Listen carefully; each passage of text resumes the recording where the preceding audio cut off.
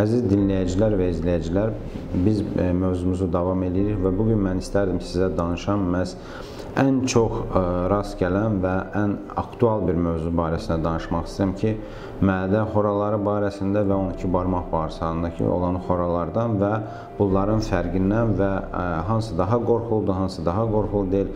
Bəzən insanlar arasında belə bir fikir gəzir ki, əgər mədədə də xora o daha yüngüldür, 12 barmaqda daha çətindir və s. Və bunların hamısını, bu miflərin hamısını aradan qaldırmaq üçün məhz mən istərdim danışam. Xora xoradır. İstir mədədə olsun, istir 12 barmaq bağırsaqda. Hər ikisi qanaxma ehtimalı verə bilər və ona görə də bunlar qorxu ola bilər. Hər ikisi loru dildə desək, yəni penetrasiya ola bilər, deşilə bilər. Bunlar hamısı məhz 12 barmaq bağırsağı və mədənin xoralarının məhz ə, ağırlaşmaları ola bilir. Siz soruşa bilərsiniz ki, məhz ə, mədədə ə, nədən biz bilə bilərik ki, xoramız var və yaxud 12 barmaq bağırsaqda?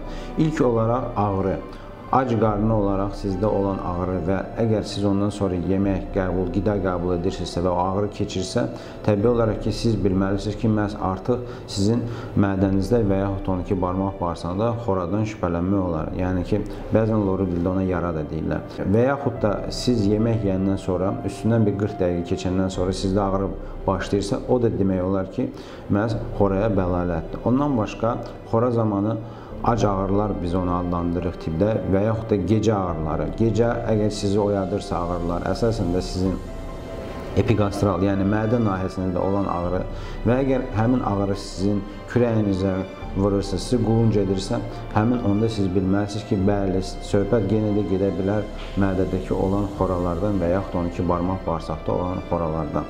Başqa şikayətlərdən biri qıcıqırma ola bilər ki, hansılarda siz artıq bilməlisiniz ki, məhz e, sizdə belə bir patologiya ola bilər.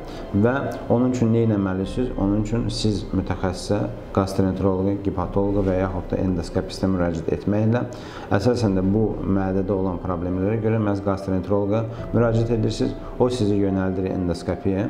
Endoskopik metodla baxılandan sonra tam dəqiq olaraq bilinir və həmin zaman Helicobacter pylori əsas, yəni ki, bu mədə və 12 barmaq bağırsaq xorazının törədicisi tapılır və bu törədici uyğun olaraq sizə müalicə olunursunuz və mən səminliklə deyə bilərəm ki, öz praktikamdan ki, bir ay ərzində biz sizi tam olaraq mədə və 12 barmaq bağırsaq xorasından azad edə bilirik. Əgər siz lazımı olan pəhrizi saxlayırsınızsa və biz dediyimiz tədavini, ilacları qəbul edirsinizsə, tamamilə olaraq biz sağaldırıq. Bəzən o deyirlər ki, sağalmır və s. onlar da bir mifdir. Tam olaraq sağalır. Əgər gələcəkdə siz özünüzə baxsaz, heç bir yaranın və xoranın əmələ gəlməsi olmayacaq sizdə. Əgər yox, siz özünüzə baxmırsınızsa, həmin yerdə yox, onun yanında əmələ gələ bilər həmin xora. Amma bu başqa artıq mövzudur. Amma xora tam olaraq müalicə, indiki müasir müalicə tam olaraq, davamlı olaraq ə, tam ə, biz onu müalicə edə bilirik və beləliklə də o tam aradan qaldır. Və yaxud da indiki dövrdə 90% ə, diaqnoz qoyulanda ki, məhz xoradır, həmin zaman məhz müalicə metodları ilə, yəni ə, dərmanlarla sağalırlar. Əgər yox, qanaxmanı biz dayandıra bilmiriksə, onun da 80%-in biz artıq endoskopik yolla dayandıra bilirik. Əgər yox biz onları dayandıra bilməsək, onda bəli, hansısa cərrahiyyə üsulu atırıq. Amma 30 il bundan qabaq məhz xora xəstəliyi tapılan insanlarda 90% gedirdi əməliyyata. Bugün bu artıq mifdir. Yəni belə bir şey olmur. Hamını biz tam olaraq müalicə edə bilirik. Ona görə də vaxtında gəlməlisiniz, vaxtında müayinə olunmalısınız ki, məhz gələcəkdə xoranın ə, fəsadlarını yaşamayasınız və insanlar bu fikirləşmirlər ki, yəni əməliyyat olunub xora aradan qaldırılırsa, bununla da xora keçir. Xora keçmir, xora qalır və təzədən əmələ gəlir. Və xüsusən də bildirmək istəyirəm ki, nəsildə əgər kimdəsə atada, babada xora varsa, bu xəstəliyin 80%-i irsi yolla keçir və nəsillikcə davam olur. Ona görə bunu da nəzərə alasınız. Müzik